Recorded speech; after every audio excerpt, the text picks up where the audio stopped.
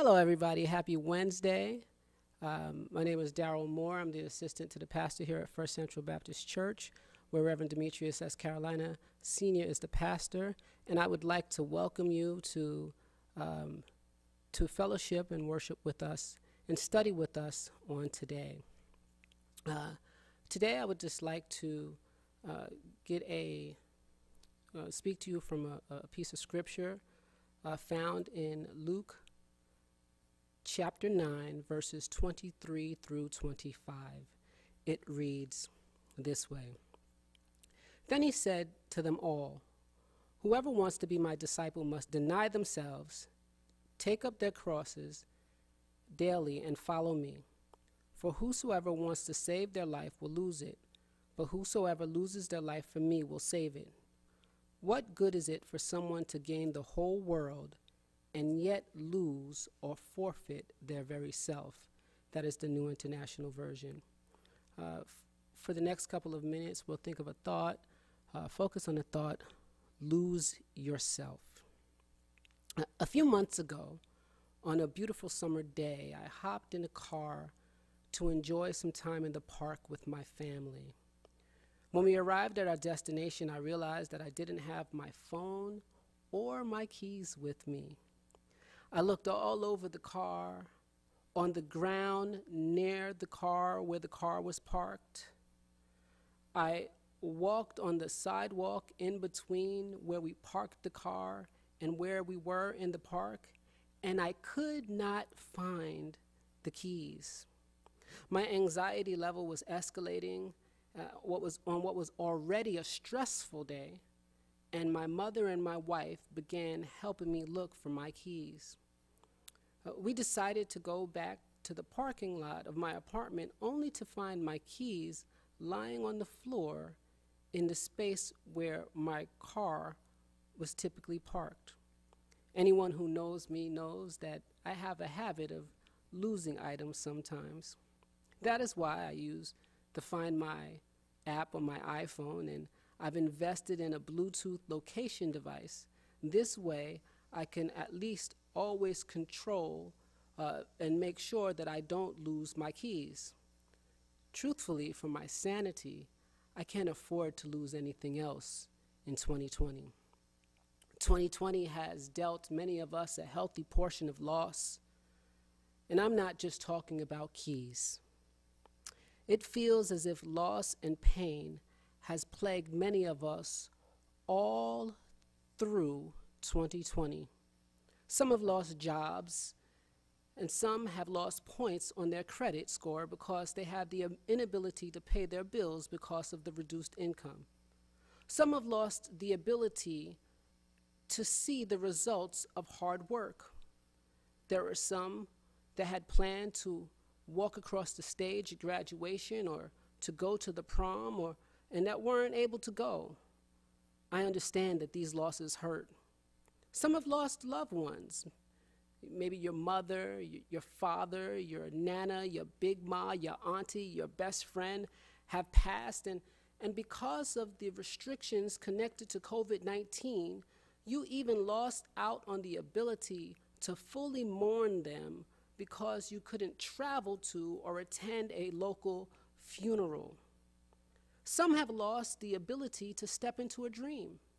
I know somebody who had prepared for not one, but two degrees in the field of hospitality, only to have the uh, vacation industry shut down, shook up, and rocked because of the coronavirus. Some have lost faith in our polit political system. Losing just seems to be very unfair. Some people have just opened up businesses only to be forced to close them because of the loss of clientels.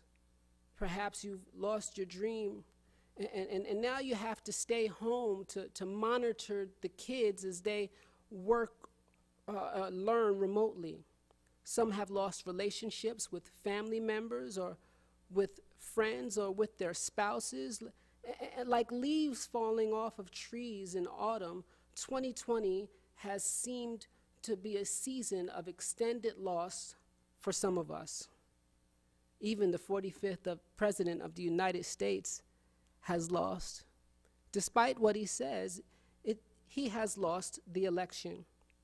In some sense, we have all lost.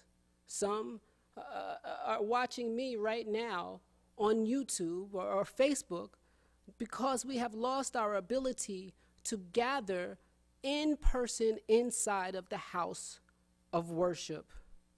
We feel the shock of the hashtag names of George Floyd and Breonna Taylor and, and many others. There just seems to be so much loss in 2020. Some have even lost their trust and confidence in God. The losses of 2020 that have come in varied ways from multiple people. Yes, it's been a year filled with loss of life, loss of quality of life, loss of health, and loss of finances. I would suggest that most people don't like losing. If you're like me, like I was with my keys and how I am with my phone, you, you would create a fail safe system to make sure that you could control the situations around you, to make sure that you didn't lose that which matters to you, that which you care about. But I want to suggest that there is a particular kind of losing that is not only that is not negative, but it is also beneficial. Well, you say, Reverend Moore, that, that doesn't even make sense. I, I know it sounds a little paradoxical, but, but if you just give me a few seconds, I'll try to explain what I'm saying. I want to suggest that the particular type of losing is not only beneficial, but necessary for the maturity of the individual believer, for the development of the community of believers, and for the effectiveness of the gospel in society. You want to know what is this losing that I'm talking about? I'm glad you asked. I'm talking about losing yourself in Jesus. What does losing yourself in Jesus look like? Losing yourself in Jesus, perhaps you want to say for Jesus, does not mean becoming like everyone else. It is not losing your personality, your charisma, or your moxie. It is not losing your intellect, your sense of humor, or your swag. It is not losing your athletic prowess or your artistic ability. It is not becoming someone who you are not. My friends, my brothers, and my sisters, God is very aware of who you are. As a matter of fact, according to Psalm 139, uh, verse 14, you are fearfully and wonderfully made. You're crafted by God to be who you are. Losing yourself to Jesus simply means that Jesus will take that which he finds good in you and expand it and make it better. And those things that are in your personality that do not honor him, he will exchange uh, for, for uh, things that will make you honor him. What am I saying? I'm saying that if you lose yourself to Jesus, you can exchange your insecurity for God's confidence. I'm saying that, that if you lose yourself in Jesus, you can exchange depression for joy. If you lose yourself in Jesus, you can exchange anxiety for a peace that goes beyond your understanding. Of course, there are some adjustments that will be made when you lose yourself. But in the end, you will still be you. You'll be the person that God created you to be, that God called you to be. You will be you. You will be you. You will find you by losing yourself in Christ. Well, you want to know, or you should want to know, how does this work? Let's look at the text. I read three short verses. And in this particular passage, we find Jesus talking to his 12 apostles and some other disciples. And he says that they are to deny themselves. Whoever wants to be my disciple, the King James says, whoever wants to come after me should deny themselves, take up their cross, and follow me. Three beginner steps, initial steps to losing yourself. What does it mean to deny yourself? This, this, this idea of denying yourselves is, is much more than a radical, uh, uh, uh, much more radical than the idea of denying or, or stopping or ceasing to do certain things. There, there is this belief in, in, in Christianity, in the church, that, that all you have to do is, is, is stop the way that you talk and dress a certain way and come to the church at a certain time, and if you do that, then you will be in right relationship with God and with each other. That is not what Jesus means when he says, deny yourself. This denial uh, of oneself that Jesus is talking about is a rejection of life based uh, uh, solely on self interest and self fulfillment. Instead, a disciple is to be one who seeks to fulfill the will and teachings of Jesus. What does that mean? That means that there are going to be some times when you have a desire. There are going to be some times when there is something that you want to do. And because of the greater good of society, for the greater good of the cross, you are not going to do it. Maybe I should give you an example. The scripture tells a story following Jesus' baptism where he is in the wilderness fasting for 40 days and for 40 nights. While he's in the wilderness fasting, the adversary comes and he points to some stones, to some rocks on the ground, and he knows that Jesus is hungry. Jesus has a physical desire to feed himself, and he says, Turn those rocks into bread. Now, I don't know about you, but it, but if it was me, I, I wouldn't not only turn the rocks into bread, but I, I would have turned the rocks into some uh, red snapper with some cheese grits that had a Chardonnay pan sauce and, and, and, and, and, and have some hot tea along the side with it. But Jesus didn't do that. Jesus denied himself despite the need and the desire that he had he denied himself because he knew that if he ate at that moment, if he, if he fell to the temptation of the adversary at that moment, then he would have um, messed up his mission and his purpose. We need to just have enough courage to lean on God and at points where we um, are challenged by those things that tempt us so that we make sure that we don't compromise our purpose. We are all tempted daily. We're tempted by the lust of the flesh, the lust of the eye, and by the pride of life. I tell you, I know that it's hard because, like many of you, I have failed even since being in relationship with God. But still, God gives us second, third, fourth, and fifth chances to deny ourselves so that we can continue to walk with Him and live as mature disciples in Christ. Following that, Jesus says that we should take up the cross. What does it mean to take up the cross? Well, you know that in the first century, the cross was an instrument of violent and painful execution. To take the cross was to carry the horizontal wooden beam along your shoulders down the road of execution, usually in the presence of onlookers who would jeer and make fun of you.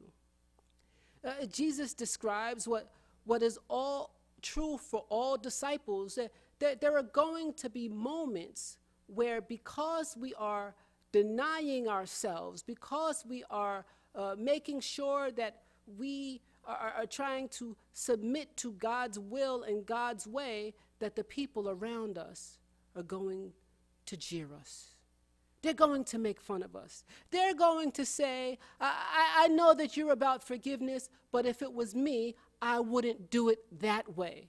They're going to say, I, I know that you're about love, but, but if it wasn't, if, if I was you, I, I would do it this way. They, they, they, they would tell you the how to behave, and they want you to behave the way that people in, in average society or, eh, of the world behave. But the thing is, we're called to be a peculiar people. We're called to be holy, and holy means that we are to be different. So that means that if somebody hurts us, then we should have the courage to forgive them. That means that even if we have the opportunity to exact revenge on somebody, that we don't. That means if we can ignore somebody because we have the ability to not help them, because we don't need their help when they're down on their luck, that we don't look down on them because they're down on their luck, but that we exercise love to give a piece of what we have so that somebody on the margins of society can feel as if they're loved and they have purpose. In, in addition to that, when he says, take up your cross, the, the, the image of, of carrying the cross beam on your shoulders is an image of one that has a great heavy load, a, a great burden bearer. We, as the community of Christ, as a community of believers, as the church in a fallen world, we are here and we are needed to carry the burden of believers. Uh, we are here to carry the burdens, excuse me, of society. And so when we see that there is government that doesn't care that people are starving in the streets, that there, that there is a system that is set up that, that, that, uh, is, that favors people because of the way that they look or because of their orientation or because of their gender or because of the amount of money that they make, that the church needs to stand up and fight for justice and say, this isn't the way of the Christ. We should deny ourselves and we should take up our cross. The third thing, and I'll be out of your way, Jesus says, Follow me. This is interesting because the other two verbs, deny and take up, is one word in the Greek, are simple past tense called the aorist in the Greek. But, but this particular verb in the Greek that is translated as follow is the present imperative tense. What does that mean? that means that, that these words that are spoken are not a suggestion by Jesus, but the imperative is used as a command, it's used as an exhortation. Uh, it, doesn't leave room for discussion.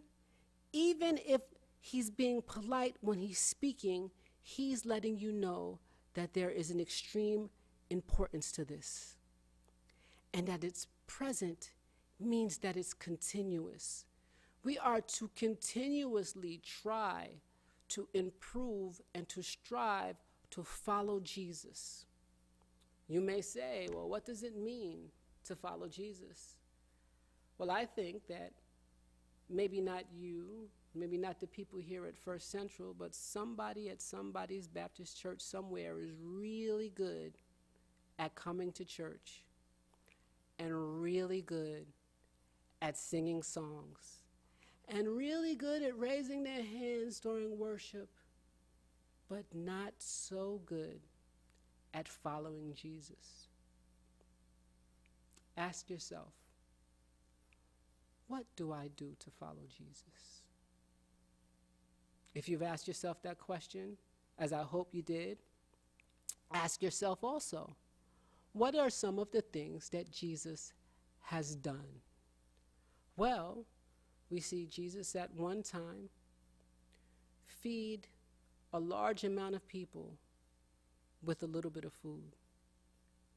Have you shared the little bit that you have, or out of the abundance that you have, with somebody who doesn't have anything.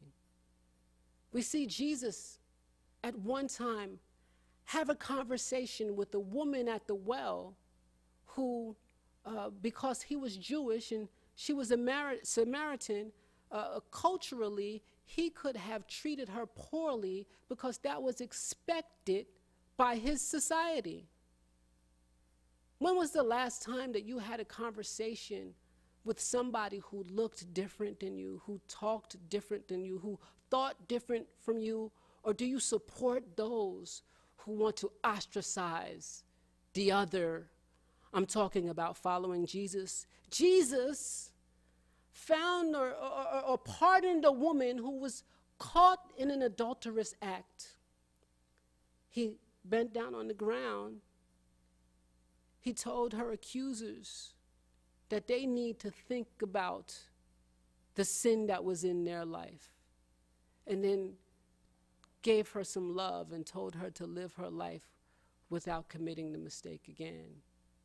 Jesus made reform in the church when, when they were selling the sacrifices at an elevated price, the, the turtle doves, he, he flipped over the tables. When's the last time that, that you looked at, at, at houses of worship all over the world and really said, uh, are they trying to meet the needs of the community or are they just trying to keep the status quo? Jesus, he built a team of men around him. We call them the 12 apostles. But over and over, he had to ask them, Where is your faith? Where is your faith when they didn't understand? Despite their failings, Jesus believed in them and helped them to become better. Do you give up on people when they fail? Or are you willing to sit and take your time to help them become better believers? Jesus' closest, or one of his closest friends, Peter, ran away when Jesus needed him the most. But after he rose from the dead, Jesus sat down and had a conversation with Peter. He, he said, Peter, I, I know that you failed me and you, you want to quit the group of the disciples, but do you love me? Three times he asked him, and he said, Feed my sheep three times. Are you willing to press through the hurt of those people who you have so much history with in order to show people that through Jesus, that with Jesus, people can overcome even the hardest and most traumatic experiences in their life. How do we follow Jesus? We look at what Jesus did. And any time that we have an opportunity to do something or a decision make, to make, although it's cliche, we ask ourselves, what would Jesus do? Simply by denying ourselves, by taking up our cross, by following Jesus, we will lose ourselves. And as we lose ourselves, we will become more mature individually and collectively and the gospel will have an impact on the world that people are not expecting, but they so very much need. That's all I have to say today. God bless you and peace. Hey, again, I'd just like to thank you for uh, joining us for this particular study. I, I would like to pray for you um, because I believe that there is power in prayer. Uh, but before I do that, I just want to let you know uh, that you can find videos like this every Wednesday um, on this same YouTube channel, and also uh, videos of sermons from our pastor and the ministry circle, which are the ministers of this church, uh, on Sunday morning, and they go live at 10 a.m. If you, uh, after engaging or fellowshipping with us virtually, you have some more questions about God, or you would like to give your life to Christ, um, and perhaps even connect with our fellowship.